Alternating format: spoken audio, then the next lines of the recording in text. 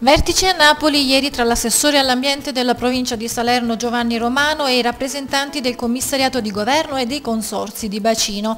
Al centro della riunione l'emergenza rifiuti e la riapertura della discarica di Serre. A partire dal 1 gennaio 2010 infatti la provincia assumerà la gestione del ciclo integrato dei rifiuti mediante una società provinciale che l'assessore Romano dovrà costituire con i poteri commissariali affidatigli qualche giorno fa dal premier Berlusconi.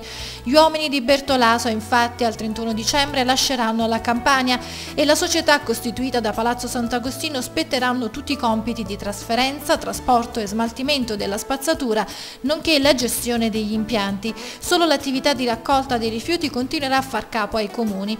Così, a partire dal 2010, la discarica di Macchia Soprana a Serre dovrà riaprire i battenti per permettere di ospitare circa 130 tonnellate di rifiuti in vista dell'imminente saturazione del sito di Savignano Irpino. Nel frattempo anche i poteri commissariali del sindaco De Luca potrebbero essere trasferiti all'assessore romano per la realizzazione del termovalorizzatore di Salerno.